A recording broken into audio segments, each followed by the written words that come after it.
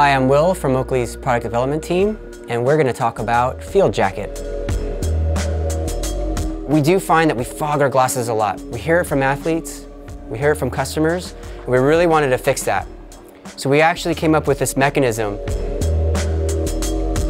And what most people do when they fog their lenses is they pull the frame forward on the tip of their nose, creating a lot of discomfort here, pinching your nose here, and allowing light to come in here. What we wanted to do was mimic that activity but keep the lens right in front of you. So we installed this little button that pulls the frame out and allows air to come in this way and exit this way.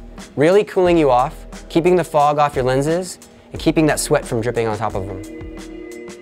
So if you look at this frame, it has the high wrap that you need for protection and also the tight tip to tip for retention along with the grip.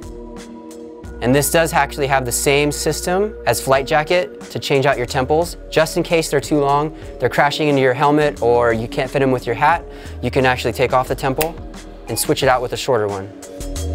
We see big benefits in cycling, upper field of view, retention, fit with a helmet, we put that all into it. Also trail running when you get out there, backpacking. It's important that you have this and the Advancer to really help you in any situation. So those are the main features of Field Jacket, a sport frame truly built for adventure.